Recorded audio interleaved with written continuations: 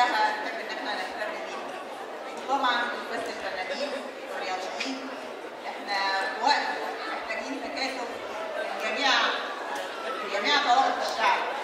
نقف كلنا جنب الرئيس عبد الفتاح السيسي